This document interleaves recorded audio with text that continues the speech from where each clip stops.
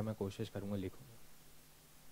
Hello friends क्या हाल चाल I hope you all are doing fine friends in today session we are going to start with the basics of the accounting what are the accounting is what are the advantages what are the limitations of the accounting let's start with the topic first topic is meaning of accounting एक example से start करते हैं what actually accounting is friends एक simple सा example let's say एक friend है आपका, जिसका नाम है रामू। रामू को पॉकेट मनी मिलती है।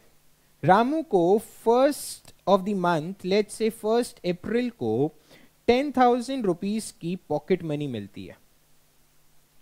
अब रामू को पॉकेट मनी मिल गई तो रामू अब अपने सारे एक्सपेंसेस क्या इस पॉकेट मनी से ही करेगा? यस पॉकेट मनी से ही करेगा। रामू ने कुछ एक्सपेंसेस करे। रामू ने फ़र्स्ट अप्रैल को कुछ एक्सपेंस करा सेकेंड अप्रैल को फिर करा। अब रामू कहता है, पैसा खर्च हो रहा है। क्यों ना सारे एक्सपेंसेस को मैं एक ही जगह रिकॉर्ड कर लूँ? तो रामू ने क्या करा? रामू ने जैसे ही कुछ एक्सपेंसेस करे तो रामू ने उसको नोट करना स्टार्ट कर दिया। रामू ने कहा फ़र्स्ट अप्रैल को मेरा फाइव हंड्रेड रुपीज़ का फ़ूड पे एक्सपेंस हो गया। Let's say two hundred rupees Ramu ने ट्रैवलिंग पे खर्च कर दिए, कहीं घूमने चला गया था। थाउज़ेंड रुपीज़ रामू ने मूवी पे खर्च कर दिए। सिमिलरली रामू ने सेकेंड अप्रैल को भी कुछ खर्चा करा होगा। सेकेंड अप्रैल को लेट से उसने दोबारा से टू हंड्रेड रुपीज़ का फ़ूड पे खर्चा कर दिया। फिर उसने हंड्रेड रुपीज़ का मोबाइल एक्सपेंस मोबाइल रिचार्ज करवा लिया। सिमिलरली रामू ने बहुत सारे एक्सपेंसेस करता चला गया। रामू जैसे जैसे एक्सपेंसेस हुए, उन्हें क्या करने लगा? उन्हें राइट डाउन करने लग गया। दैट इज़ उन्हें रिकॉर्ड करने लग गया। अब थर्टियथ अप्रैल आ गया। थर्टियथ अप्रैल को रामू ने कहा, यार, बहुत एक्सपेंसेस हो गए। इन एक्सपेंसेस को कंट्रोल करना पड़ेगा। अब इन एक्सपेंसेस को कंट्रोल करने के लिए रामू ने कहा, चलो देखता हूँ कि टोटल फ़ूड पे कितना खर्चा हुआ। अब टोटल फ़ूड पे कितना खर्चा हुआ ये जानने के लिए रामू ने क्या करा? फ़र्स्ट अप्रैल पे गया। फ़र्स्ट अप्रैल पे देखा तो उसने क्या कहा कि भैया फ़ूड पे कितना खर्चा हुआ हुआ फाइव हंड्रेड तो फ़ूड के आगे उसने कितना लिख दिया? फाइव हंड्रेड फिर सेकेंड अप्रैल वाले कागज़ पे गया। सेकेंड अप्रैल वाले कागज़ पे गया तो फ़ूड पे कितना एक्सपेंस हुआ हुआ टू हंड्रेड सिमिलरली जितने और रामू ने एक्सपेंस करा, वो सारे रामू लिखता चला गया। सिमिलरली फिर उसने कुछ एक्सपेंसेस करे होंगे ट्रैवल पे। तो रामू ने ट्रैवल वाला एक्सपेंस उठाए। फ़र्स्ट अप्रैल को रामू ने ट्रैवल से रिलेटेड कितने एक्सपेंसेस करे थे? 200 के।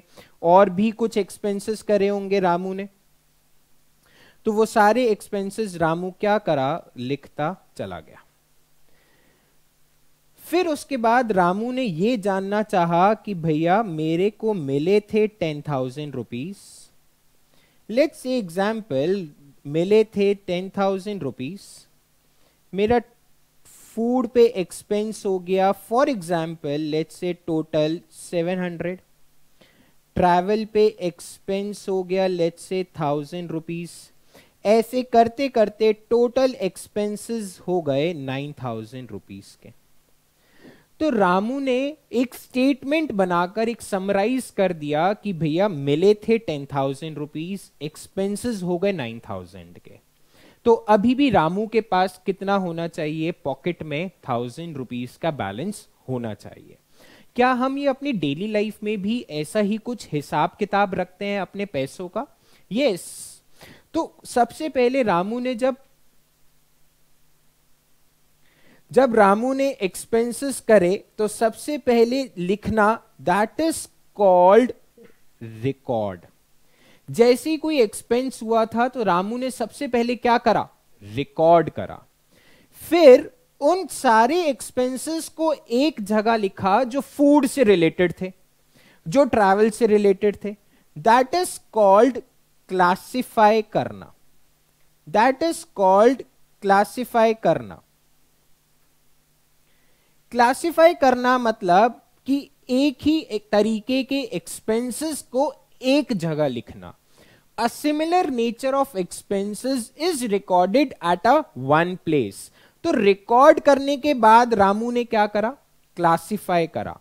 और क्लासिफाई करने के बाद रामू ने क्या करा? समराइज करा। समराइज करना मतलब पूरी स्टेटमेंट्स को एक ही जगह रिकॉर्ड कर देना, पूरे महीने की एक समरी बना देना कि मिले थे टेन थाउज़ेंड एक्सपेंसेस हो गए नाइन थाउज़ेंड के। दैट इज़ कॉल्ड समरी तो फ्रेंड्स सबसे पहला स्टेप सबसे पहला स्टेप क्या था? सबसे पहला स्टेप था रिकॉर्ड करना। सबसे पहला स्टेप क्या था? रिकॉर्ड करना। फिर दूसरा स्टेप क्या था? क्लासिफाई करना। और फिर थर्ड स्टेप क्या था? समराइज करना। तो सिमिलरली अकाउंटिंग भी कुछ ऐसा ही होता है। चलिए अकाउंटिंग की डेफिनेशन देखते हैं what actually accounting is meaning of accounting accounting is an art accounting एक कला है। किस चीज़ की? रिकॉर्ड करने की क्लासिफाई करने की and summarising in a signified manner signified manner क्यों कहा गया? अगर इंडिया में हर बिजनेसमैन अलग तरीके से अकाउंटिंग करता तो क्या being as a chartered accountant या बीइंग एज अ लेमैन क्या आप हर बिज़नेस की अकाउंटिंग को समझ पाते? नहीं समझ पाते? तो इसीलिए अकाउंटिंग एक कला है, एक आर्ट है। किस चीज़ की आर्ट है? रिकॉर्ड करने की क्लासिफाई करने की और समराइज करने की। In a significant manner significant manner मतलब एक फॉर्मेट है। वो फॉर्मेट आपको सीखना पड़ेगा। And in terms of money ये ध्यान रखेंगे, याद रखेंगे अकाउंटिंग में सारी ट्रांजैक्शंस किसमें रिकॉर्ड होती हैं? इन टर्म्स ऑफ़ मनी अगर आपने थाउज़ेंड रुपीस का स्टेशनरी खरीदा तो आप अकाउंटिंग में रिकॉर्ड करोगे थाउज़ेंड रुपीज़ आप ये नहीं लिखोगे मैंने ट्वेंटी पेंस खरीदे. आप अकाउंटिंग में ट्रांजैक्शंस रिकॉर्ड करोगे in terms of money transactions and events which are in part at least of financial character. Sir आपने कहा मनी में रिकॉर्ड करना है. अब ज़रूरी तो नहीं है ना कि बिज़नेस में जितनी भी ट्रांजैक्शन हो, वो सारी की सारी मनी की टर्म्स में मेजर हो सकती हैं। फॉर एग्ज़ाम्पल लेट्स से कि एम्प्लॉयज़ की लॉयल्टी एम्प्लॉयज़ की नॉलेज एम्प्लॉयज़ का एक्सपीरियंस क्या ये सब चीज़ें भी मनी की टर्म्स में कैलकुलेट हो पाती हैं? नहीं हो पाती। इसी वजह से अकाउंटिंग में कहा गया कि जिसका फाइनेंशियल करेक्टर है। फाइनेंशियल करेक्टर मतलब can be measured in terms of money can be measured in terms of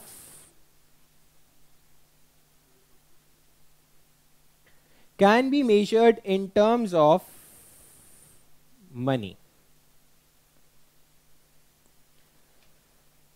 and interpreting the result thereof उसके बाद आपने रिकॉर्ड कर लिया, आपने क्लासिफाई कर दिया, आपने समराइज कर दिया।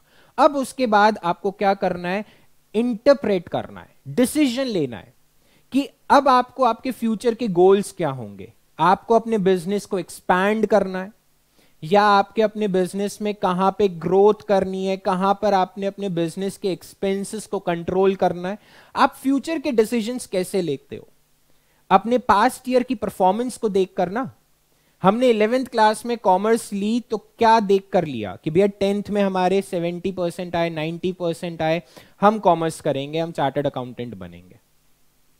तो that is what similarly in the accounting similarly in the accounting आप अपने रिजल्ट्स को इंटरप्रेट करते हो, आप अपने फ्यूचर के गोल्स फ्यूचर के टारगेट्स डिसाइड करते हो कि फ्यूचर में आप क्या करोगे।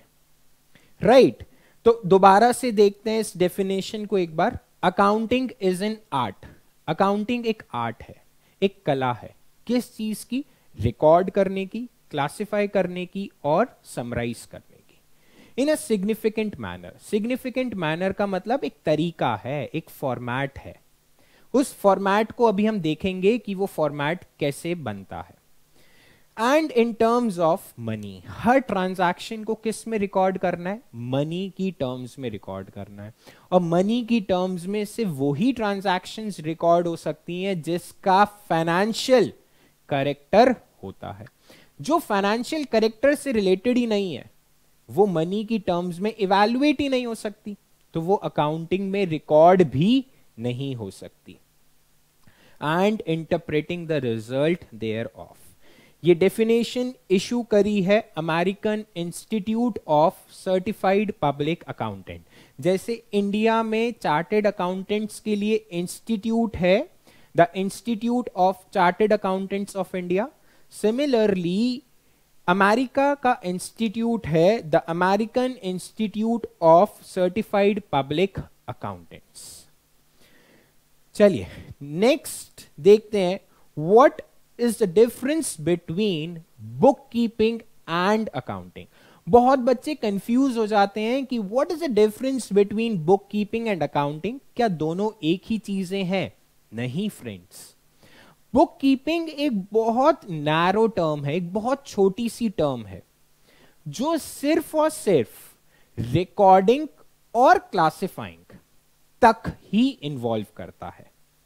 बुक कीपिंग एक बहुत स्मॉल टर्म है that includes only recording and classifying of the transaction where accounting is a wider term accounting में हम बहुत सारी चीज़ों को इन्वॉल्व करते हैं। अपने रिज़ल्ट को समराइज करना इंटरप्रेट करना। इंटरप्रेट करना मतलब फ्यूचर के गोल्स फ्यूचर की डिसीज़न मेकिंग डिसाइड करना फ्यूचर के टारगेट्स डिसाइड करना, और फिर उन अपने रिज़ल्ट को कम्युनिकेट करना। That is also in the part of accounting तो बुक कीपिंग क्या है? एक नैरो टर्म है, एक छोटा सा पार्ट है अकाउंटिंग का। बुक कीपिंग क्या है? नैरो है। Whereas accounting is a wider term चलिए देखते हैं difference book keeping involve recording and classifying of transactions accounting in addition to book keeping मतलब अकाउंटिंग में रिकॉर्डिंग अकाउंटिंग में रिकॉर्डिंग प्लस क्लासिफाइंग तो आता ही है समराइजिंग और इंटरप्रेटिंग भी आता है। नेक्स्ट बुक कीपिंग का मेन ऑब्जेक्टिव क्या है? The objective of book keeping is to maintain systematic records of the financial transaction book keeping क्या करता है? सिर्फ़ और सिर्फ़ सिस्टमैटिकली हमारी डेली की ट्रांजैक्शंस को रिकॉर्ड करता है और उनको क्लासिफाई कर देता है लेजर्स में. बट वेयर एज अकाउंटिंग एक वाइडर टर्म है अकाउंटिंग में इंटरप्रिटेशन भी इन्वॉल्व है प्रॉफिट एंड लॉस बनाना, बैलेंस शीट बनाना, ये सब भी इन्वॉल्व है। Right book keeping managerial decision can not be taken from these records आप मुझे खुद बताओ, क्या आप सिर्फ़ लेजर्स बनाकर, अपने डेटा को क्लासिफाई कर कर क्या आप मैनेजरियल गोल्स अपने फ्यूचर के टारगेट्स डिसाइड कर पाओगे? जब तक आप सबकी बैलेंस शीट बनकर तैयार नहीं हो जाती, तब तक आप फ्यूचर के गोल्स और टारगेट्स डिसाइड नहीं कर पाते। तो अकाउंटिंग से मैनेजमेंट डिसीजंस लेता है वेयर एज बुक कीपिंग से मैनेजमेंट डिसीजंस नहीं ले पाता। बुक कीपिंग एक क्लेरिकल नेचर का है। A similar work is repetitive बार बार रिपीट करना ट्रांजैक्शन हुई, उसको जर्नल एंट्री पास कर दी, फिर उसको क्लासिफाई कर दिया in ledger where as accounting एक एनालिटिकल प्रोसीजर है। आप अपने हिसाब से इंटरप्रेट करते हो। कुछ रिज़ल्ट लेट्स एग्ज़ाम्पल एनालाइज करना। एनालाइज करना मतलब बेसिकली अपने रिज़ल्ट को अपनी फाइनेंशियल परफॉर्मेंस को देखना कि हम आगे कैसे एक्सपैंड करेंगे। क्या हमें इंडिया में और मार्केट्स में एक्सपैंड करना चाहिए? क्या हमें ग्लोबली एक्सपैंड करना चाहिए? क्या बड़ी बड़ी कंपनियाँ अपनी बैलेंस शीट के बेसिस पे ही डिसीज़न लेती हैं? यस yes, सब कंपनीज़ अपनी फाइनेंशियल परफॉर्मेंस को देखकर ही डिसीज़न लेते हैं। तो this is the difference between book keeping and accounting next next are the advantages of accounting अब हम अकाउंटिंग करते हैं, पूरे साल सर अकाउंटिंग कर रहे हैं, हम चार्टेड अकाउंटेंट भी बनने जा रहे हैं। अब what are the advantages of the accounting क्या फ़ायदा है अकाउंटिंग करने से? आप खुद सोच रहे हैं, क्या अकाउंटिंग करने से मुझे कुछ फ़ायदा है? Yes yes. पहला फ़ायदा इट रिप्लेस योर मेमोरी आपको याद रखने की ज़रूरत नहीं है। अगर आपने अकाउंटिंग में अपने डेटा को रिकॉर्ड कर दिया तो आपको याद करने की ज़रूरत नहीं है। सर, हमसे तो कल का पढ़ा ही याद नहीं रह पाता। तो क्या आप अपने अकाउंटिंग में हर ट्रांजैक्शन को याद रख पाओगे? नहीं रख पाओगे। इसीलिए अकाउंटिंग करी जाती है। दैट रिप्लेस योर मेमोरी आपको याद रखने की ज़रूरत नहीं है।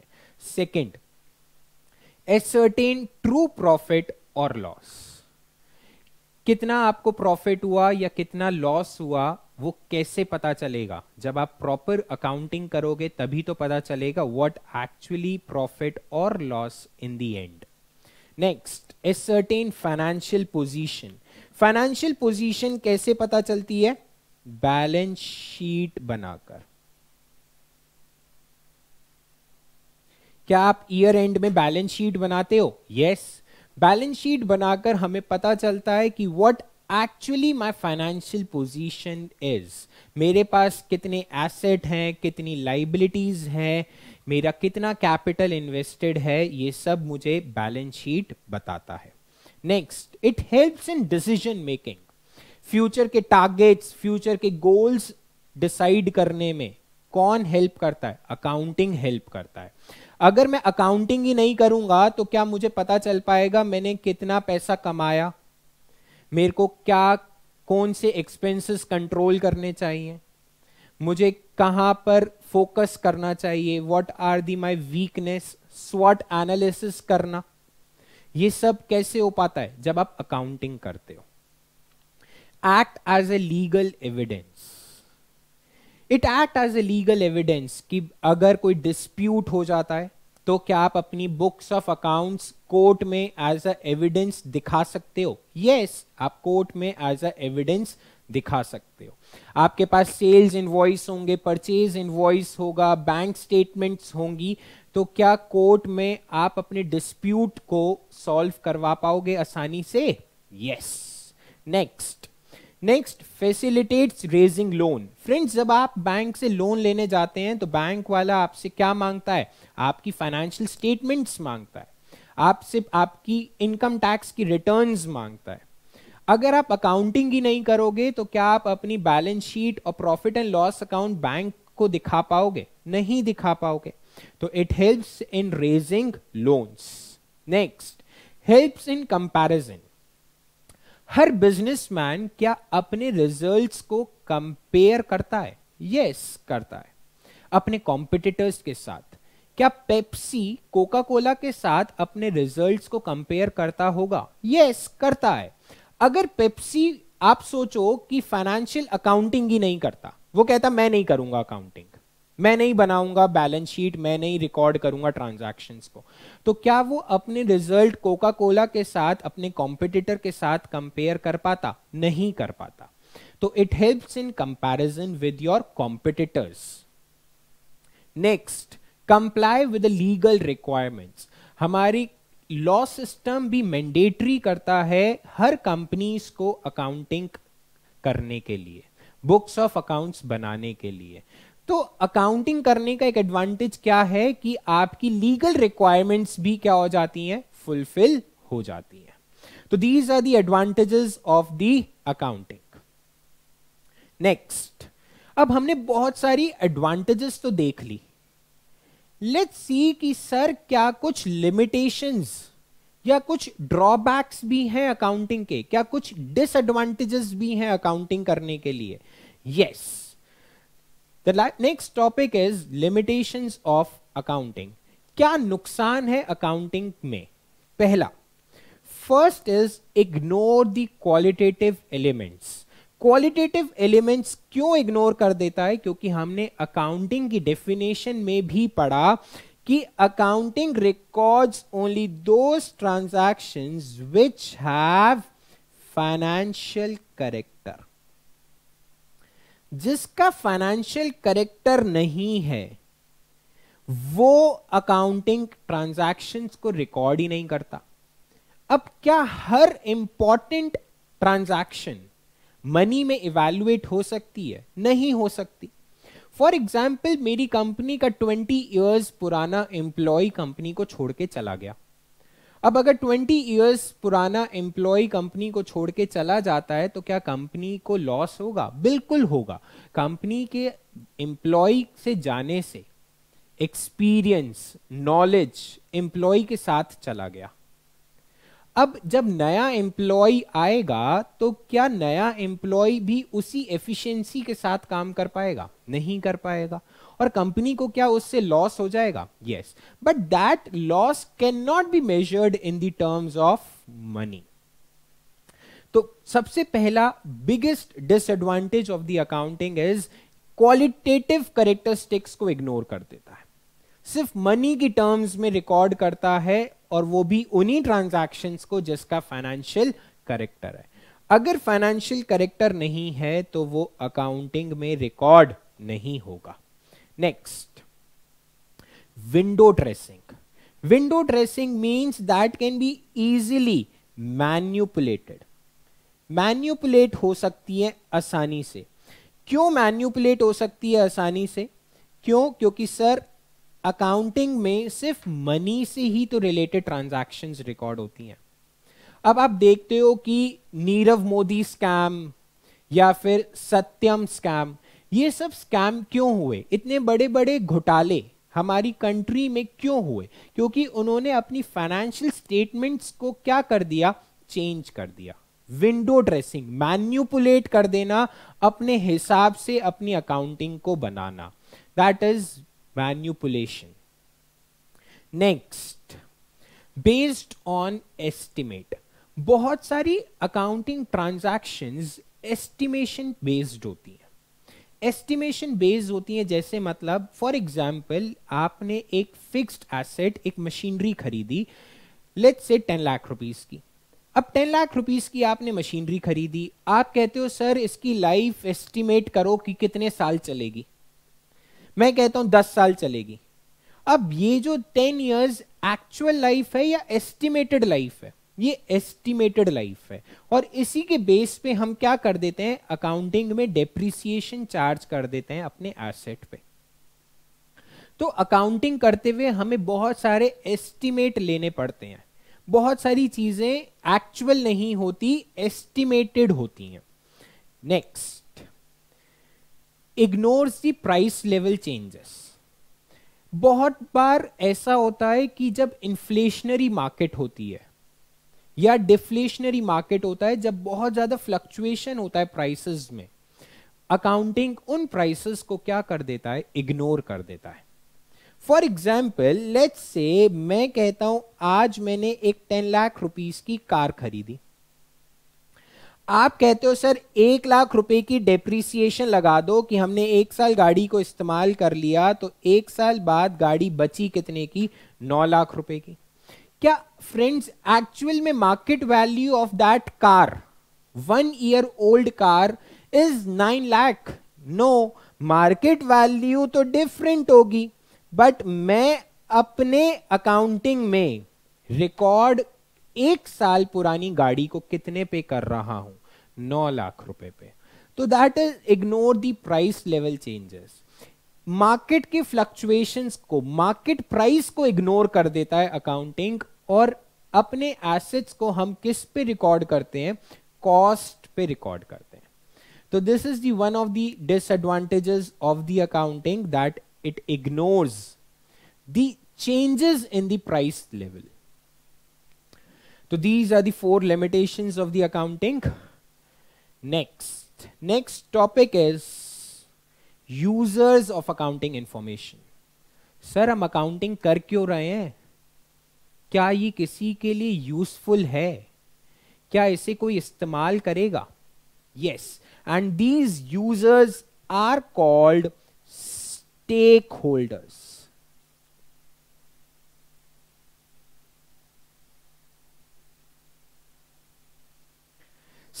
stakeholders of the accounting information जो भी पर्सन हमारी रिज़ल्ट जानने में इंटरेस्टेड है जो भी पर्सन अकाउंटिंग हमारे बिज़नेस के रिज़ल्ट जानने में इंटरेस्टेड है that are called stakeholders तो हमने यूज़र्स को दो पार्ट में डिवाइड करा internal users and external users internal users मतलब जो ऑर्गेनाइजेशन में ही काम कर रहे हैं, क्या वो पर्सन भी इंटरेस्टेड होते हैं अपने फाइनेंशियल परफॉर्मेंस जानने में? Yes yes. चलिए देखते हैं वो क्यों इंटरेस्टेड होते हैं। First owner and board of directors क्या बोर्ड ऑफ़ डायरेक्टर्स और ओनर्स फ्यूचर के गोल्स फ्यूचर के टारगेट डिसाइड करने के लिए क्या कंपनी की फाइनेंशियल परफॉर्मेंस को चेक करते हैं? यस yes, करते हैं। भाई आपने करंट ईयर में प्रॉफिट कमाया दो करोड़ का। अब आप ये कोई ना कहोगे मेरा अगले साल का टारगेट है फाइव हंड्रेड करोड़ रुपीस कमाना। आप अपने फ्यूचर के डिसीजंस कैसे लेते हो? कि सर, हमने करंट ईयर में दो करोड़ का प्रॉफिट कमाया है तो हम नेक्स्ट ईयर टारगेट अचीव करने की कोशिश करेंगे लेट से फाइव करोड़ का। तो आपने जो अपना फाइव करोड़ का टारगेट बनाया, वो कैसे बनाया? क्या पास्ट ईयर की परफॉर्मेंस को देखकर बनाया? Yes yes. तो ओनर्स और बोर्ड ऑफ़ डायरेक्टर्स फ्यूचर के गोल्स टारगेट्स डिसाइड करने के लिए इंटरेस्टेड होते हैं फाइनेंशियल इंफॉर्मेशन में। नेक्स्ट मैनेजर्स मैनेजर्स इंटरेस्टेड होते हैं अपने डेली के टारगेट अचीव करने में। भाई, मेरे बॉस ने जो टारगेट दिए हैं, क्या मैं उन्हें अचीव कर पा रहा हूँ? क्या कंपनी की प्रोडक्शन जो टारगेट है, क्या वो अचीव हो रही है? क्या कंपनी सेल्स मार्केटिंग स्ट्रैटेजीज जो है, क्या कंपनी की प्रॉपर है? क्या कंपनी के जितने एक्सपेंसेस हमने बजट में लिखे थे या बजट में रखे थे, क्या एक्चुअल एक्सपेंसेस भी उतने ही हो रहे हैं? अगर बजट और एक्चुअल में डिफरेंस है तो वो क्यों हो रहा है इतना डिफरेंस क्या ये सारी इंफॉर्मेशन मैनेजर्स का काम है जानना? यस नेक्स्ट एम्प्लॉयज़ और वर्कर्स एम्प्लॉयज़ और वर्कर क्यों इंटरेस्टेड होता है? वर्कर इंटरेस्टेड होता है बोनस के लिए। बहुत सारी कंपनीज़ में एम्प्लॉयज़ को बोनस मिलता है जब कंपनी प्रॉफिट कमाती है। अब कंपनी प्रॉफिट कमाएगी तभी तो एम्प्लॉय को क्या मिलेगा? बोनस मिलेगा। तो क्या एम्प्लॉय कंपनी की फाइनेंशियल स्टेटमेंट चेक करता होगा? यस करता है कि सर क्या इस साल कितना प्रॉफिट हो रहा है? अगर प्रॉफिट ज़्यादा होगा तो बोनस भी क्या होगा? ज़्यादा मिलेगा। तो employees and workers are interested for the bonus job security अगर आपको मैं एक एग्जांपल दूँ कि आपके पास एक चॉइस है सर किंग फिशर एयरलाइंस में भी आपको जॉब मिल रही है और आपको टाटा में भी जॉब मिल रही है। आप कहोगे सर किंग फिशर एयरलाइंस में रहने दो। विजय माल्या तो भाग गया। आप जॉब सिक्योरिटी भी देखते हैं कि जो कंपनी ग्रोथ कर रही है सर टाटा ग्रो अच्छा कर रही है। तो हम किसमें जॉब करना प्रेफर करेंगे? टाटा ग्रुप में प्रेफर करेंगे। तो सिमिलरली फ्रेंड्स एम्प्लॉयज़ और वर्कर जॉब सिक्योरिटी कंपनी के फ्यूचर प्लान्स क्या है? अगर कंपनी फ्यूचर में बंद होने वाली है, मुझे ऐसा लग रहा है कि कंपनी अच्छा परफॉर्म नहीं कर रही कॉन्टिन्यूस लॉसेस में जा रही है। एक दो साल में ऐसा लगता है कंपनी बंद हो जाएगी। तो मुझे क्या करना पड़ेगा? अपनी जॉब चेंज करने के लिए साथ साथ इंटरव्यूज़ देना स्टार्ट करना पड़ेगा। तो इंटरनल यूज़र्स में हमने देखा बोर्ड ऑफ़ डायरेक्टर्स कंपनी के owners higher level of decision making interested होते हैं। For setting the future goals future targets company कैसा परफॉर्म कर रही है कंपनी को एक्सपैंड करना है या नहीं करना कंपनी कितना रिज़र्व रहेगा कंपनी में कंपनी कितना डिविडेंड बांटेगी शेयर होल्डर्स को, ये सारे डिसीजंस कौन लेता है? कंपनी के बोर्ड ऑफ़ डायरेक्टर्स और ये सारे डिसीजंस किसके बेस पे लिए जाते होंगे? फाइनेंशियल रिज़ल्ट के बेस पे ही ये सारे डिसीजंस लिए जाते हैं। Next is managers managers interested होते हैं डेली के टारगेट्स अचीव करने के लिए डेली टारगेट्स बनाने के लिए, अपने एम्प्लॉयज़ और वर्कर्स को काम समझाने के लिए उनके टारगेट्स बनाना जॉब सिक्योरिटी भी मैनेजर्स और वर्कर्स के लिए भी इंटरेस्टेड होते हैं फाइनेंशियल रिज़ल्ट देखने के लिए। Next is external users external users are basically those person which are outside the organisation but interested in our result कि हम कैसा परफॉर्म कर रहे हैं। The first point is suppliers and creditors जो भी हमें सामान देता है, जो हमारे सप्लायर्स हैं क्या वो इंटरेस्टेड होते हैं हमारी फाइनेंशियल परफॉर्मेंस जानने में? यस yes, मैं एक एग्ज़ाम्पल देता हूँ. लेट से मैंने अपने क्रेडिटर से पाँच करोड़ का सामान क्रेडिट पे खरीदा। क्या क्रेडिटर मेरी फाइनेंशियल परफॉर्मेंस चेक करना चाहेगा कि क्या मैं एक्चुअली में आफ्टर टू मंथ उसका पैसा वापस कर पाऊँगा या नहीं कर पाऊँगा? फ्रेंड्स आपसे आपका फ्रेंड अगर थाउज़ेंड रुपीज़ भी उधार मांग लेता है तो क्या आप उसको ऊपर से नीचे एक बार देखते हो? यस yes, कि क्या वो एक्चुअली में मेरा पैसा वापस कर पाएगा या नहीं कर पाएगा? और कंपनीज़ में कंपनी की फाइनेंशियल पोजीशन देखकर ही तो पता चलेगा कि कंपनी कैसा परफॉर्म कर रही है। तो सप्लायर्स और क्रेडिटर्स इंटरेस्टेड होते हैं कंपनी की एसेट जानने में कि कंपनी के कितने एसेट हैं कंपनी में कितनी कैपिटल लगा रखी है ओनर्स ने। Next potential investors potential investors का मतलब क्या है? पोटेंशियल इन्वेस्टर्स मतलब वो पर्सन जो हमारी कंपनी में इन्वेस्ट करना चाहते हैं। पोटेंशियल मतलब अभी इन्वेस्ट करा नहीं है, करना चाहते हैं। That are called potential investors अगर आप किसी कंपनी में इन्वेस्ट करना चाहते हो तो क्या आप कंपनी की फाइनेंशियल परफॉर्मेंस क्या देखना चाहोगे? Yes yes. भाई, आपके पास एक छोटा सा एग्ज़ाम्पल है, आपके पास एक लाख रुपए हैं। मैं कहता हूँ कि बताओ, आप टाटा, रतन टाटा को उधार दोगे या किंगफिशर के विजय माल्या को उधार दोगे? आप क्या फाइनेंशियल परफॉर्मेंस देखोगे टाटा ग्रुप की और किंगफिशर एयरलाइंस की? तभी तो अपना एक लाख रुपए इन्वेस्ट करोगे कहीं पर भी। Next next is government government interested होती है जानने के लिए कि जो भी कंपनी बिज़नेस कर रही है, क्या वो लीगल है या नहीं है?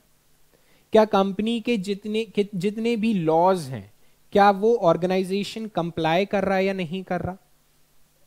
ऐसा तो नहीं कि कंपनीज़ और ऑर्गेनाइजेशन इलीगल बिज़नेस कर रही हैं। गलत तरीके से प्रॉफिट कमा रही हैं तो ये सब भी जानने के लिए गवर्नमेंट इंटरेस्टेड होती है। अब गवर्नमेंट इंटरेस्टेड होती है टैक्स के लिए, कि क्या कंपनीज़ और ऑर्गेनाइजेशन टैक्स ठीक तरीके से पे कर रही है या नहीं पे कर रही। टैक्स किस पे पे करा जाता है? प्रॉफिट पे। और प्रॉफिट कहाँ से निकलेगा? फाइनेंशियल रिज़ल्ट से। That is profit and loss account banana. Next next है public and customers public and customers are also interested in the financial statements customers interested होते हैं कि जो भी कंपनी एमआरपी चार्ज कर रही है, क्या वो नॉमिनल है? कंपनी क्या अनड्यू एडवांटेजेस तो नहीं उठा रही कस्टमर की? See in our society we always prefer कि हर उस बिजनेसमैन को अच्छा कहा जाता है जो सोशल रिस्पॉन्सिबिलिटीज को भी पूरा कर रहा हो। तो कंपनीज़ का main profit not only to earn profit but also for the social responsibility तो public and customers are interested to know कि जितना भी कंपनी प्रॉफिट कमा रही है, क्या वो ठीक तरीके से कमा रही है? ऐसा तो नहीं कि कंपनी मोनोपली क्रिएट कर रही है मार्केट में, ताकि अनड्यू एडवांटेजेस उठा सके अपने कस्टमर्स के लिए। नेक्स्ट लेंडर्स एंड बैंक अगर मैं बैंक से लोन लेने जाता हूँ या लेंडर्स जो मुझे let say NBFC non banking financial companies क्या ये सब भी इंटरेस्टेड होते हैं मेरी फाइनेंशियल स्टेटमेंट्स जानने में? Yes yes. अगर मैंने बैंक से लोन ले रखा है तो क्या बैंक मेरी हर साल की फाइनेंशियल परफॉर्मेंस चेक करना चाहेगा? कहीं मैं उसका पैसा मिस यूटिलाइज तो नहीं कर रहा? तो इन सब चीज़ों के लिए बैंक्स और लेंडर्स भी इंटरेस्टेड होते हैं। तो these are the basically called the stakeholders of the financial information stakeholders means users of the financial information जिसको हमने दो कैटेगरीज में डिवाइड करा था इंटरनल एंड एक्सटर्नल इंटरनल मतलब within the organisation external मतलब आउटसाइड दी ऑर्गेनाइजेशन चलिए next देखते हैं क्या क्या क्वालिटीज होनी चाहिए हमारी फाइनेंशियल स्टेटमेंट्स में? एक फाइनेंशियल स्टेटमेंट में क्या क्या क्वालिटीज क्या क्या चीज़ें होनी चाहिए ताकि एक फाइनेंशियल स्टेटमेंट कंप्लीट बन सके, एक अच्छी फाइनेंशियल स्टेटमेंट बन सके? अब फाइनेंशियल स्टेटमेंट्स का मतलब क्या है? Basically financial statements include five statements first is profit and loss account. Second is balance sheet. Next is cash flow statement. इन सब टॉपिक्स को हम आगे डिटेल में भी करेंगे next it's notes to accounts and next is change in equity ये पाँच स्टेटमेंट्स को मिलाकर हमारी फाइनेंशियल स्टेटमेंट्स बनती हैं। इन पाँचों टॉपिक्स को, इन पाँचों स्टेटमेंट्स को हम बाद में अलग अलग डिस्कस करेंगे। No need to worry about it currently we are talking about the qualitative characteristics what are the basic qualities that should be included in our financial statements to make them proper to make them good चलिए देखते हैं क्या क्या financial statements में होना चाहिए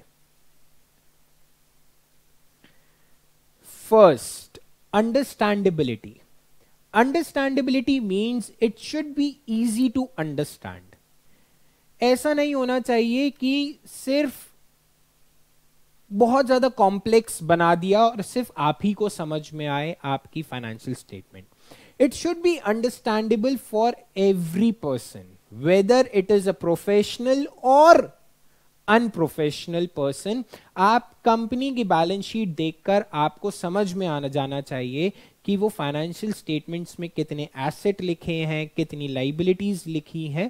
That means it should be in the proper format and in proper presentation form next is relevance her information जितनी भी आपकी फाइनेंशियल स्टेटमेंट में हो, है, वो सारी इंफॉर्मेशन रेलेवेंट होनी चाहिए इंपॉर्टेंट होनी चाहिए। जो भी इरेलीवेंट इंफॉर्मेशन है, जो ज़रूरत नहीं है, जो बहुत छोटे अमाउंट की इंफॉर्मेशन है, आप उन इंफॉर्मेशन को इग्नोर कर सकते हो। बट जितनी भी सिग्निफिकेंट इंपॉर्टेंट इंफॉर्मेशन हैं, वो सारी की सारी इंफॉर्मेशन आपके अकाउंटिंग में होनी चाहिए। नेक्स्ट कंपैरेबिलिटी आपकी financial statements easy to compare करनी होनी चाहिए।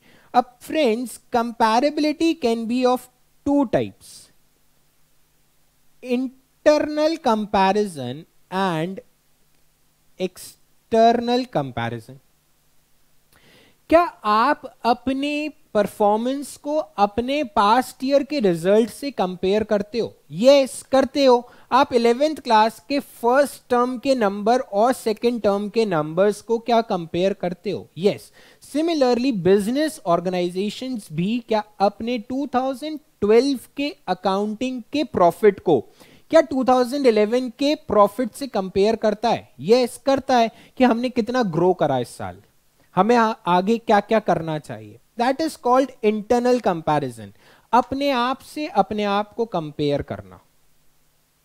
Second is external comparison external comparison मतलब कॉम्पिटिटर्स के साथ कंपैरिजन करना। मारुति होंडा के साथ अपने रिज़ल्ट कंपेयर कर रहा है कि क्या प्रॉफिट है। होंडा को कितना प्रॉफिट हो रहा है और मारुति को कितना प्रॉफिट हो रहा है। सिमिलरली जैसे कि आप अपने फ्रेंड्स के साथ अपने रिज़ल्ट को कंपेयर करते हैं। तो आपकी financial statements easy to compare होनी चाहिए। प्रॉपर फॉर्मेट में होनी चाहिए। ये नहीं कि आपने 2012 में बनाया डिफरेंट फॉर्मेट के साथ और 2013 में आपने डिफरेंट फॉर्मेट के साथ अपनी अकाउंटिंग स्टेटमेंट्स बना दी। अगर आप अकाउंटिंग अलग तरीके से करोगे हर साल तो क्या आप कंपैरिजन कर पाओगे? नहीं कर पाओगे। Next substance over form this is the important one. What actually substance over form is, इसको समझते हैं कि substance over form क्या होता है। बहुत इंपॉर्टेंट है। Let's understand what is the meaning of substance over form friends एक एग्ज़ाम्पल लेते हैं। मैंने एक हाउस खरीदा। लेट्स से एक हाउस खरीदा, एक प्रॉपर्टी खरीदी मैंने फॉर एग्ज़ाम्पल फ़र्स्ट फेब्रवरी को। फ़र्स्ट फेब्रवरी को मैंने एक प्रॉपर्टी डीलर से प्रॉपर्टी खरीदी। मैंने पैसा दे दिया और उसने मुझे हाउस की की दे दी। मैंने पैसा दे दिया और हाउस की कीज उसने मुझे दे दी। अब ऑन लीगल पेपर्स लीगली घर की रजिस्ट्री करवानी पड़ती है, करवानी पड़ती है। अब लीगल पेपर्स बनने में टाइम लग गया। अब लीगल पेपर्स बनने में टाइम लग गया। लेट्स से फ़र्स्ट मे को घर की रजिस्ट्री हो गई। अब आप सोचेंगे कि सर घर का मालिक, मैं फ़र्स्ट फेब्रवरी को बना या फ़र्स्ट मे को बना? तो सब्सटेंस ओवर फॉर्म कहता है कि हमें ट्रांजैक्शन का इकोनॉमिक सब्सटेंस देखना चाहिए। दैट मींस कि फाइनेंशियल ट्रांजैक्शन कब हुई? फाइनेंशियल ट्रांजैक्शन हुई है फ़र्स्ट फेब्रवरी को। तो हमें अपने बुक्स में एसेट कब रिकॉर्ड करना चाहिए? फ़र्स्ट फेब्रवरी को, ना कि फ़र्स्ट मे को। फ़र्स्ट मे क्यों लीगल तरीके से बने तो मालिक हैं बट वो सिर्फ़ लीगल फॉर्मेलिटीज कंप्लीट करने में टाइम लग गया। तो सब्सटेंस ओवर फॉर्म कहता है कि आपको ट्रांजैक्शन का इकोनॉमिक सब्सटेंस देखना चाहिए, ना कि उसका लीगल फॉर्म देखना चाहिए। एक और एग्ज़ाम्पल आप गाड़ी खरीदने जाते हो। आज आप गाड़ी खरीदने गए। अब क्या गाड़ी का रजिस्ट्रेशन सर्टिफिकेट जिस पे आपका नाम लिखा होता है, क्या वो आज ही बनकर तैयार हो जाता है? नहीं। उसको टाइम लगता है दो महीने। अब गाड़ी के मालिक आप आज हो या दो महीने बाद क्या आप गाड़ी आज से ही इस्तेमाल करने लग गए? यस आप शोरूम में गए गाड़ी खरीद के लाए गाड़ी चलाने लग गए। आप कह रहे हो नहीं ये मेरा एसेट नहीं है क्योंकि ये अभी लीगली तौर पे मैं इसका मालिक नहीं बना। नो no, गलत। आप इकोनॉमिक सब्सटेंस मतलब आप फाइनेंशियल ट्रांजैक्शन देखोगे कि कब अकर हुई है। फाइनेंशियल ट्रांजैक्शन अकर कब हुई है? आज। तो आप अपनी अकाउंटिंग में कब रिकॉर्ड करोगे ट्रांजैक्शन को? आज ही रिकॉर्ड करोगे। तो that is substance over form next is true and fair view true and fair view का मतलब है कि हर transaction her financial statement true that means true profit not free bias नहीं होनी चाहिए. मैन्युपुलेटेड नहीं होनी चाहिए. जो एक्चुअल रिज़ल्ट है, वो ही आपकी फाइनेंशियल स्टेटमेंट्स बतानी चाहिए. नेक्स्ट रिलायबिलिटी हर अकाउंटिंग में रिकॉर्ड करी हुई इंफॉर्मेशन रिलायबल होनी चाहिए। रिलायबल का मतलब है उसके पीछे सोर्स डॉक्यूमेंट होना चाहिए। अगर आप परचेजेस रिकॉर्ड कर रहे हो आप मशीनरी खरीद के लाए आप जर्नल एंट्री रिकॉर्ड कर रहे हो मशीनरी परचेज तो क्या आपके पास उसका इनवॉइस होना चाहिए? यस yes, होना चाहिए। That means all information should be reliable जितनी भी आपने अकाउंटिंग में इंफॉर्मेशन रिकॉर्ड करी है, वो रिलायबल होनी चाहिए। Next neutrality neutrality means it should be free from the biasness किसी के फेवर में मेरी अकाउंटिंग स्टेटमेंट्स नहीं होनी चाहिए। जो एक्चुअल रिज़ल्ट है, वो ही मेरे को अपनी फाइनेंशियल स्टेटमेंट्स में बताना है। नेक्स्ट इज़ टाइमलीनेस टाइमलीनेस मतलब टाइम पे बन जानी चाहिए। अगर आपका सिक्स क्लास का रिज़ल्ट टेंथ क्लास में आएगा तो क्या वो आपके लिए यूजफुल है? नहीं है. सिमिलरली 2012 का प्रॉफिट एंड लॉस अकाउंट 2018 में बनकर तैयार होगा तो क्या आप उससे डिसीज़न ले पाओगे? नहीं ले पाओगे. तो that means it should be completed on time so that future decision can be taken easily and on time. तो these are the basic qualitative characteristics जो हमारी फाइनेंशियल स्टेटमेंट्स में होने चाहिए। Next topic is accounting concept accounting concepts का मतलब accounting करने के रूल्स और अकाउंटिंग करने की गाइडलाइंस बेसिकली अकाउंटिंग कॉन्सेप्ट्स क्यों बनाए गए? अकाउंटिंग कॉन्सेप्ट्स बनाए गए यूनिफॉर्मिटी लाने के लिए। अगर इमेजिन करिए, अगर हर इंडिया का बिजनेसमैन अपने तरीके से अकाउंटिंग करता तो क्या हर पर्सन क्या स्टेक होल्डर्स हर कंपनी की फाइनेंशियल स्टेटमेंट्स को समझ पाते? नहीं समझ पाते। तो अकाउंटिंग कॉन्सेप्ट बनाए गए। Accounting concept basically accounting rules या अकाउंटिंग करने की गाइडलाइंस हैं। That should be followed by every business while doing the accounting तो चलिए पहला कॉन्सेप्ट देखते हैं that is business entity concept business entity concept कहता है कि the business and the owner of the business both are the different entities that means जो business है और जो बिज़नेस का ओनर है जो बिज़नेस है और जो बिज़नेस का ओनर है, वो दोनों अलग अलग एंटिटीज है। इसका मतलब अगर बिज़नेस में ओनर पैसा लेकर आता है या पैसा लेकर जाता है तो भी ट्रांजैक्शंस को रिकॉर्ड करा जाएगा। That means the owner of the business and the business both are the different entities both are the different person चलिए एक बार रीड करते हैं, क्या लिखा है? Entity concept state that business enterprise is a separate identity apart from its owner business enterprise और owner दोनों अलग अलग आइडेंटिटीज हैं। Business transaction are recorded in the business books of account and owner transaction are recorded in his own personal account business से related सारी transactions किसमें record होंगी? Business की बुक्स ऑफ़ अकाउंट्स में रिकॉर्ड होगी।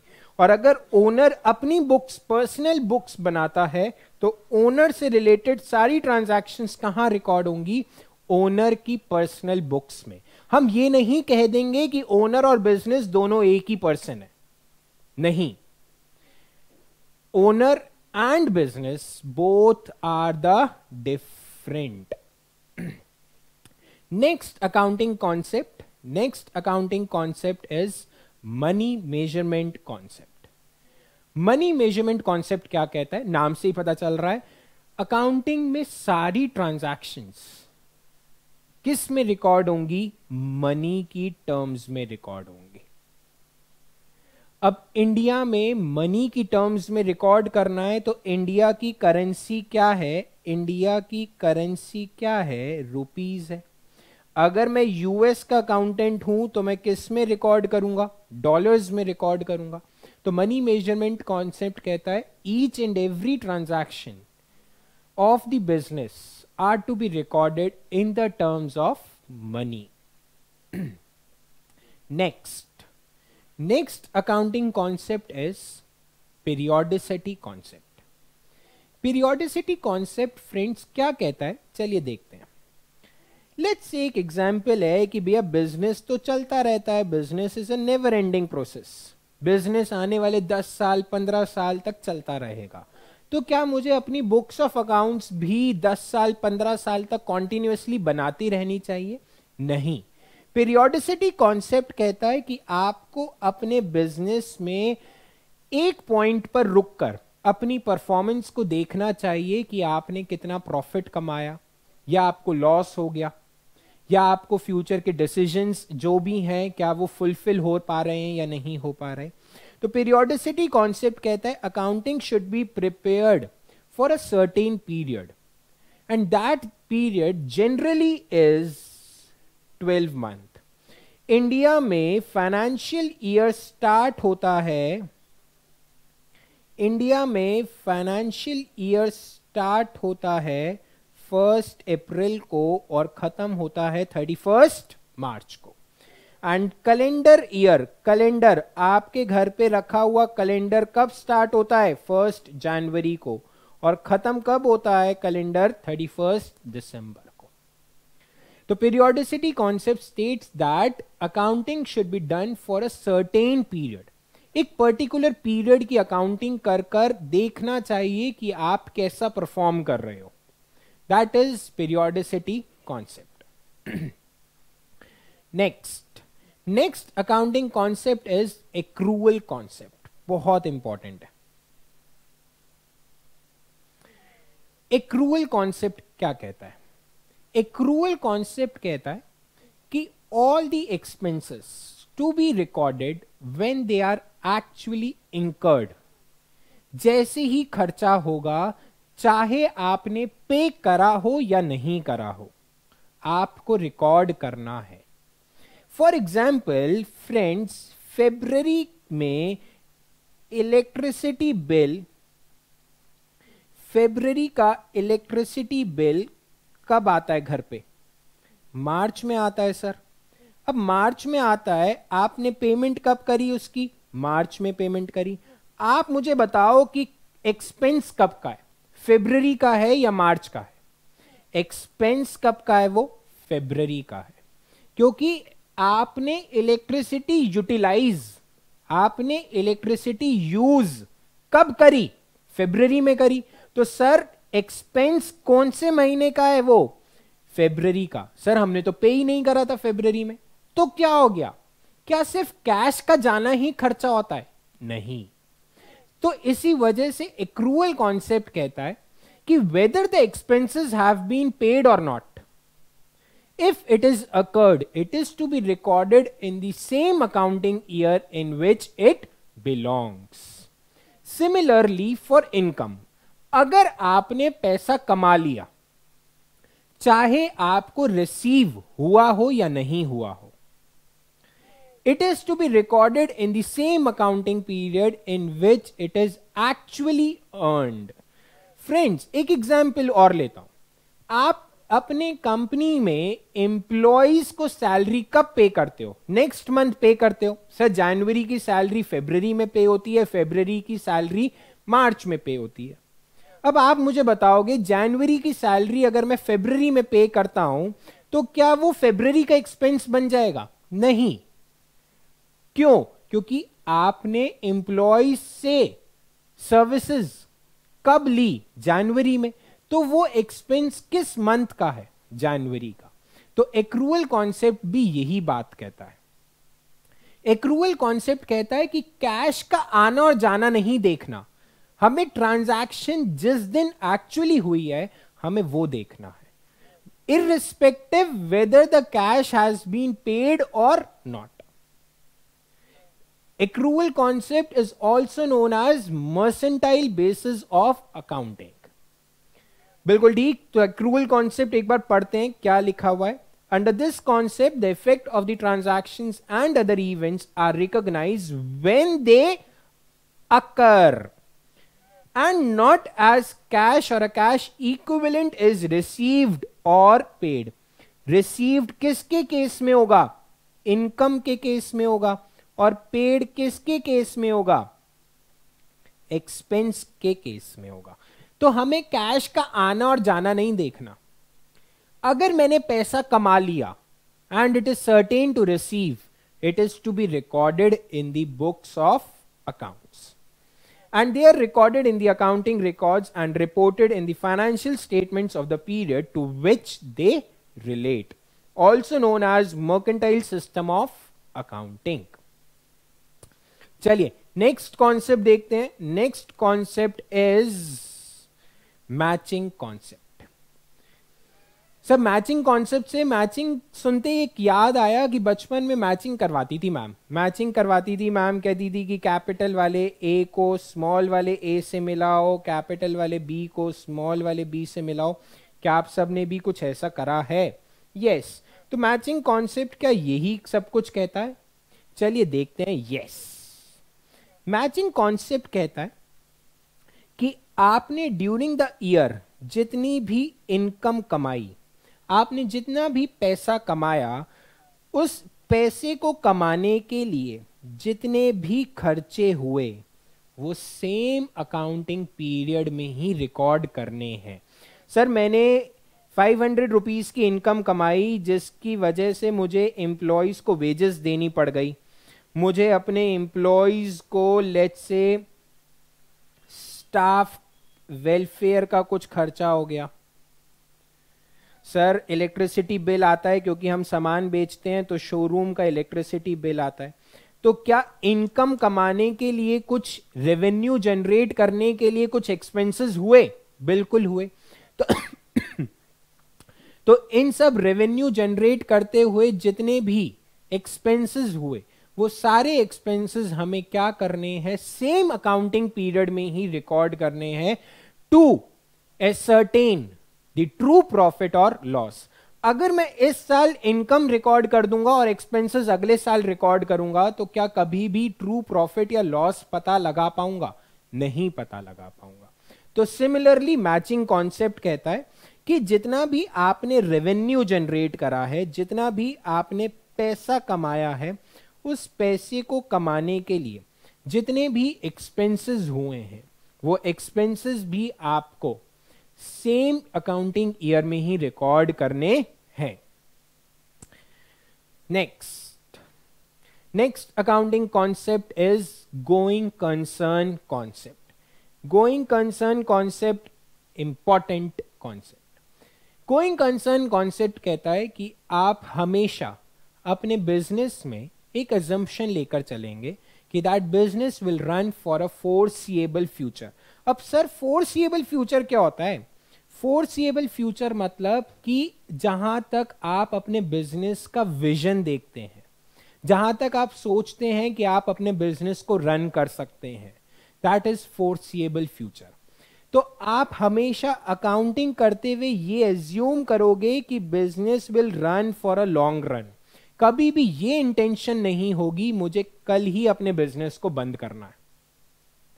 फ्रेंड्स अगर मेरी ये इंटेंशन होगी कि मुझे कल ही अपने बिज़नेस को बंद करना है तो मैं कभी भी बिज़नेस नहीं कर पाऊँगा। क्यों नहीं कर पाऊँगा? क्योंकि सर लेट से मैं आज एक मशीनरी खरीद के लाया।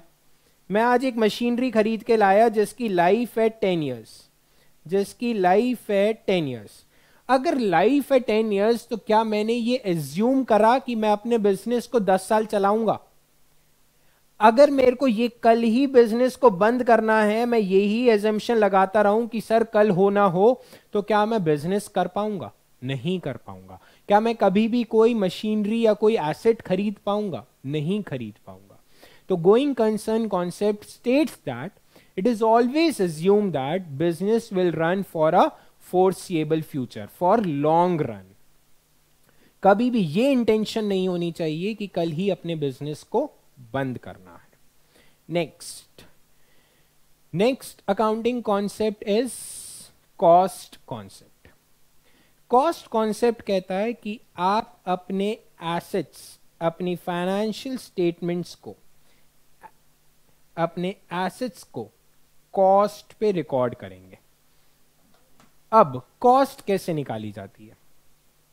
कॉस्ट निकालते time purchase price of the asset जितना भी आपके एसेट का परचेज प्राइस है, उसमें वो सारे एक्सपेंसेस ऐड कर दिए जाते हैं, जो उस एसेट को रेडी टू यूज़ करने में लग गए। बहुत सिंपल सा एग्जांपल है। Let's say thirty five thousand rupees का लैपटॉप खरीदने गया नेहरू प्लेस दिल्ली में एक मार्केट है, नेहरू प्लेस जहाँ पे फ़ेमस इलेक्ट्रॉनिक मार्केट है। अब दिल्ली में थर्टी फाइव थाउज़ेंड रुपीज़ का लैपटॉप खरीदने जा रहा हूँ, मैं लैपटॉप है थर्टी फाइव थाउज़ेंड का। थाउज़ेंड रुपीज़ सर आने जाने में लग गया। यहाँ से कैब करके गया और कैब से वापस आया तो थाउज़ेंड रुपीज़ लग गए। भाई एग्ज़ाम्पल है थर्टी फाइव थाउज़ेंड रुपीज़ का लैपटॉप हज़ार रुपए का ट्रैवलिंग एक्सपेंस तो घर आते आते लैपटॉप थर्टी फाइव का है, अभी भी या थर्टी सिक्स का है? थर्टी सिक्स का है।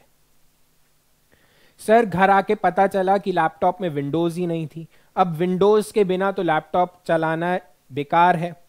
तो सर पाँच हज़ार रुपए की फाइव थाउज़ेंड रुपीज़ की विंडोज़ डलवानी पड़ गई। तो सर एक्चुअली में लैपटॉप मुझे पड़ा मुझे लैपटॉप की एक्चुअल कॉस्ट कितनी बन गई? Forty one thousand rupees all expenses which are incurred to make the asset ready to use are added in the cost of asset next next concept is realisation concept realisation concept कहता है कि आप अपने asset को realisable value realisable value मतलब asset को cell करने पे जो पैसा मिलेगा that is called realisable value आप उसे मार्केट वैल्यू भी कह सकते हो। तो रियलाइजेशन कॉन्सेप्ट कहता है कि asset should be recorded at realisable value only when there is intention to sell such asset अगर एसेट आप अपने यूज़ करने के लिए लेकर आए हो तो आप कभी भी उस एसेट की मार्केट वैल्यू नहीं जानना चाहोगे। अगर आपकी इंटेंशन टू सेल अगर आप उस एसेट को बेचना चाहते हो, तभी तो आप उस एसेट की मार्केट वैल्यू पता करते हो। बहुत सिंपल से एग्ज़ाम्पल है सर आपके रूम में लगा हुआ फ़ैन आप अपने फ़ैन की क्या रोज मार्केट वैल्यू पता करते हो? नहीं सर क्योंकि हमें उसे बेचना ही नहीं है। तो सर थाउज़ेंड रुपीज़ का फ़ैन था, मैंने अपने लिए यूज़ करने के लिए लेकर आया हूँ तो मैं अभी भी मेरे लिए थाउज़ेंड रुपीज़ का minus depreciation but market value कब पता करना चाहोगे? जब आप उसे बेचना चाहोगे।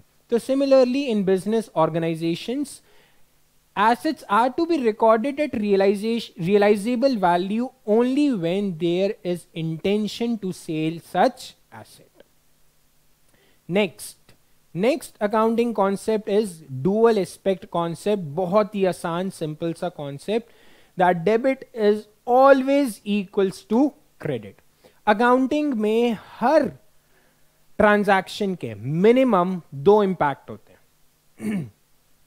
तो that is why debit is always equals to credit. इसी वजह से हमने अकाउंटिंग इक्वेशन भी पढ़ा है that assets is always equals to liability plus capital. एक एग्ज़ाम्पल लेते हैं। Let's say machinery purchase in cash. मैंने मशीनरी परचेज करी कैश में टेन थाउज़ेंड रुपीज़ की। अब मशीनरी परचेज करी तो क्या एसेट बढ़ गया? यस बट दूसरा इंपैक्ट क्या हुआ? दूसरा इंपैक्ट क्या हुआ? कैश एसेट है और वो क्या हो गया? कम हो गया। एक एसेट बढ़ा तो दूसरा एसेट क्या हो गया? कम हो गया। सिमिलरली हर ट्रांजैक्शन के मिनिमम कितने इंपैक्ट होते हैं अकाउंटिंग में? दो इंपैक्ट होते हैं। इसी वजह से हमेशा कहा जाता है debit is always equals to credit. Next. Next accounting concept is conservatism, also known as prudence.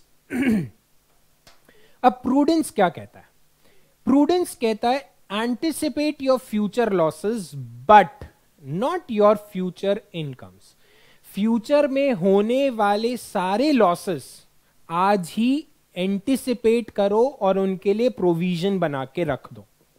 But कभी भी अपनी फ्यूचर के इनकम्स के लिए प्रोविज़न नहीं बनाना।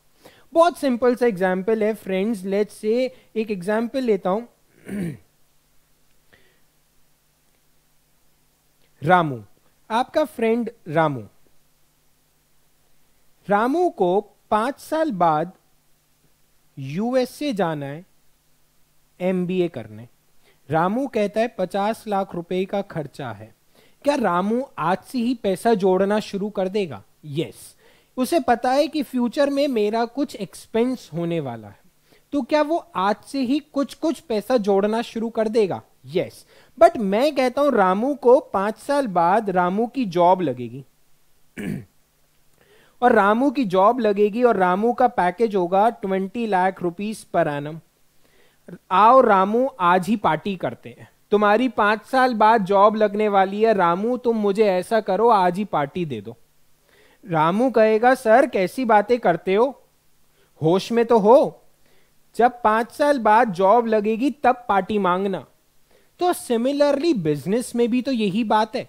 बिज़नेस में पाँच साल बाद या आने वाले फ्यूचर के जितने भी एक्सपेंसेस हैं हम उनके लिए क्या आज से ही पैसा जोड़ना शुरू कर देंगे? और उन पैसे को जोड़ना दैट इज़ कॉल्ड प्रोविज़न हम प्रोविज़न बनाना शुरू कर देंगे। बट क्या कभी भी फ्यूचर की इनकम्स को एंटिसिपेट या एस्टिमेट करेंगे? नहीं। तो प्रूडेंस कहता है कि anticipate your future losses but not your future incomes next next accounting concept is consistency consistency means कि जो भी आपने अकाउंटिंग पॉलिसीज़ अडॉप्ट कर ली, वो अकाउंटिंग पॉलिसीज़ और मेथड आने वाले सालों तक आपको फॉलो करते रहना है। अकाउंटिंग मेथड जैसे कि आपने देखा डेप्रिसिएशन चार्ज करने के बहुत सारे मेथड हैं। Straight line method written down value method और भी बहुत सारे मेथड हैं। तो कंसिस्टेंसी कहता है कि अगर आपने डेप्रिसिएशन चार्ज करने के लिए स्ट्रेट लाइन मेथड अडॉप्ट कर लिया तो आने वाले सालों तक भी आप कौन सा मेथड अडॉप्ट करोगे? स्ट्रेट लाइन मेथड कंसिस्टेंट रहना है। जो अकाउंटिंग पॉलिसीज़ और मेथड आपने अडॉप्ट कर लिए, वो ही आने वाले सालों तक फॉलो करते रहना है। तो सर क्या हम कभी भी अपनी अकाउंटिंग पॉलिसीज़ को चेंज नहीं कर पाएँगे क्या? चिंता मत करो। Accounting policies can be change under some exceptional circumstances तो पहला एक्सेप्शनल क्या है? कि अगर अकाउंटिंग स्टैंडर्ड्स को कंप्लाई करना है, अगर अकाउंटिंग स्टैंडर्ड्स में चेंज हो जाता है तो हम अपनी अकाउंटिंग पॉलिसीज़ को चेंज कर सकते हैं। दूसरा to comply with the provisions of law अगर हमें लॉ कहता है कि अपनी अकाउंटिंग पॉलिसीज़ को चेंज करो तो हम अपनी अकाउंटिंग पॉलिसीज़ को चेंज कर सकते हैं। Third if such change will result in better presentation of financial statements अगर मेरे को चेंज करने से मेरी फाइनेंशियल स्टेटमेंट और ज़्यादा ट्रांसपेरेंट एंड एक्सप्लेनेटरी हो जाती हैं तो मैं अपनी फाइनेंशियल स्टेटमेंट्स में अकाउंटिंग पॉलिसीज़ को चेंज कर सकता हूँ। तो दैट मीन्स आप अपनी अकाउंटिंग पॉलिसीज़ को सिर्फ़ और सिर्फ़ इन तीन सरकमस्टांसेस में ही चेंज कर सकते हैं। आप ऐसा नहीं होगा कि कभी कोई और अकाउंटिंग पॉलिसी कभी कोई और accounting policy no once the accounting policy is followed it should be followed for the number of years except under few circumstances पहला क्या है? अगर अकाउंटिंग स्टैंडर्ड हमें कह देता है कि चेंज करो, या लॉ कह देता है कि चेंज करना पड़ेगा। Third is if such change will result in better presentation अगर वो चेंज करने से मेरी financial statement true and fair हो जाती हैं एक्सप्लेनेटरी हो जाती हैं तो वो चेंज मैं कर सकता हूँ। The last accounting concept is materiality materiality क्या कहता है? मेटीरियलिटी कहता है कि all the important information should be in the accounts आपकी फाइनेंशियल स्टेटमेंट में हर मेटीरियल हर इंपॉर्टेंट इंफॉर्मेशन होनी चाहिए। अब सर इंपॉर्टेंट क्या है? सर रामू के लिए ये रहा बेटा आपका फ्रेंड रामू। अब रामू के लिए सर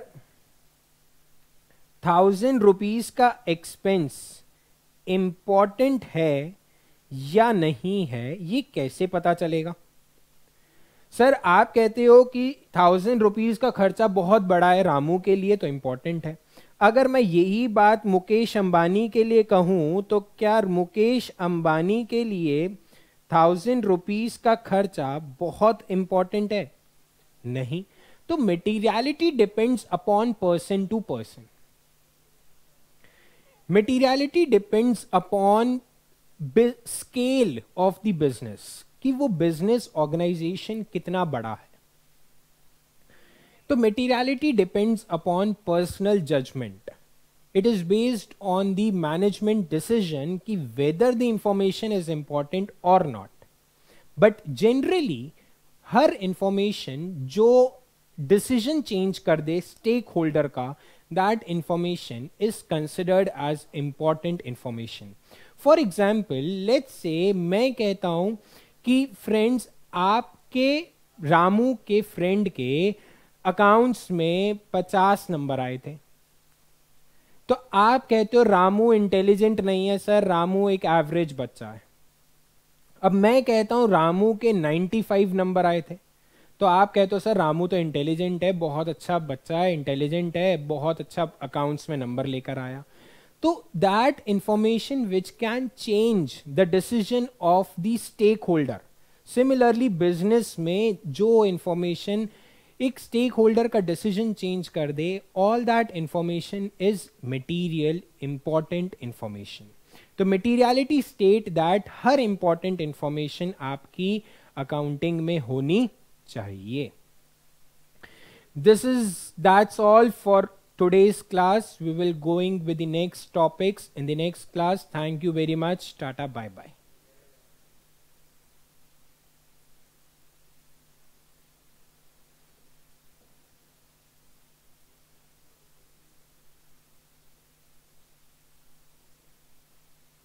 Done.